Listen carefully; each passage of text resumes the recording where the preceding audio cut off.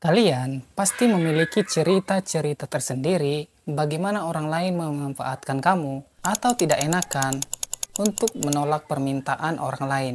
Coba kita perhatikan bagaimana tindakan kita ke belakang. Pasti ada beberapa tindakan kita yang sebenarnya kita menolak, tapi sangat sulit mengatakan tidak untuk setiap permintaan ataupun ajakan orang lain.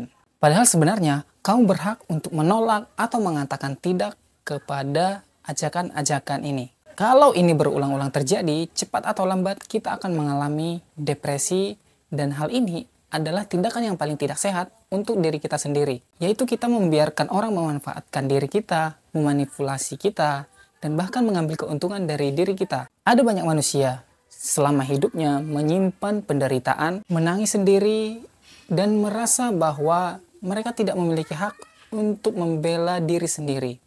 Orang-orang dengan seperti ini pasti sangat sulit untuk membela diri mereka sendiri. Mereka sering mengatakan capek berdebat, gak enakan untuk menolak, bahkan akan dianggap aneh kalau memiliki pendapat yang berbeda dari kebanyakan orang. Semua hal ini bisa terjadi karena seseorang memiliki rasa takut.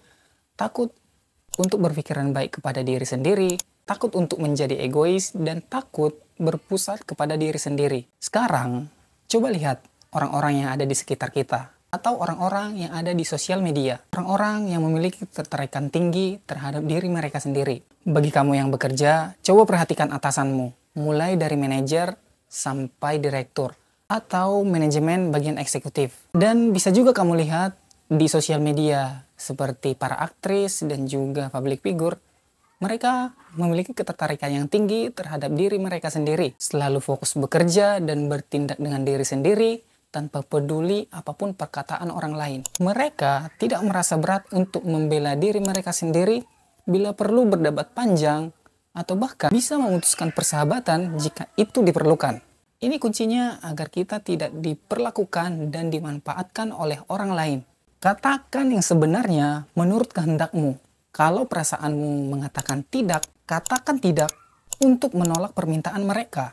Atau kalau kamu sulit membicarakannya secara langsung, kamu bisa menulis untuk menolak permintaan mereka. Jadi cukup kasih tahu ke mereka bahwa kamu benar-benar tidak mau dengan permintaan mereka atau hal lain yang bisa kamu lakukan adalah dengan tindakan bahwa semua ini sudah cukup. Kalau kamu tidak melakukan ini, kamu akan mengasihani diri sendiri, depresi, juga akan merasa bersalah dan marah Bahkan kita bisa mengasihani diri sendiri dengan cara yang menyedihkan untuk mendapatkan apa yang kita inginkan. Hal yang sering terjadi ketika menilai diri sendiri rendah atau terlalu berlebihan dalam menjaga hubungan sampai tidak enakan untuk menolak adalah perasaan tidak puas yang janggal karena tidak ada seorang pun yang mengerti diri kita sehingga kita akan mengalami penderitaan selama hidup kita sementara orang lain mendapatkan apa yang mereka inginkan. Cukup dengan semua ini. Tunjukkan ke orang-orang bahwa sudah cukup dengan semua tekanan dari mereka.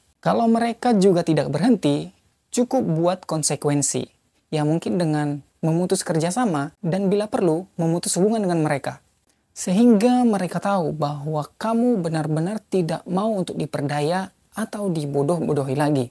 Coba pikir baik-baik, mengapa kamu tidak bisa menolak atau apakah dengan melakukan pembelaan diri akan membuat orang lain terganggu. Kalau kamu mempercayai kedua jawaban dari pertanyaan ini, kamu tidak akan pernah bebas untuk menjadi dirimu sendiri. Dan hasilnya akan dimanfaatkan secara salah, dianggap hina, dan dikuasai orang lain, kemudian merasa depresi kepada diri sendiri. Oke, sekian video kali ini. Semoga bermanfaat buat teman-teman yang mendengarkan. Saya Gilbert Pangaribuan. Sampai jumpa.